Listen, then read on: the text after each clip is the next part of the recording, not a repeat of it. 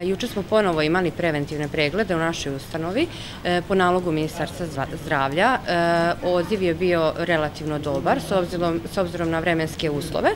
E, pregledano je ukupno 68 pacijenata i odrađeno 111 pregleda.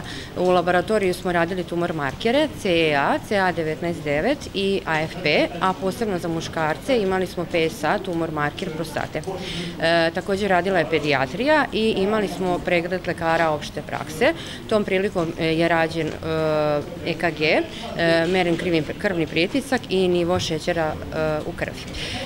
Naš dom zdravlja i dalje će nastaviti da radi preventivne preglede u sklopu ove akcije, stoga pozivamo naše zainteresovane sugrađane da se blagovremeno informišu u sredstvima javnog informisanja, takođe da prate našu Facebook stranicu i naš sajt kako bi aktivno učestovali u prevenciji bolesti i očuvanju svog zdravlja.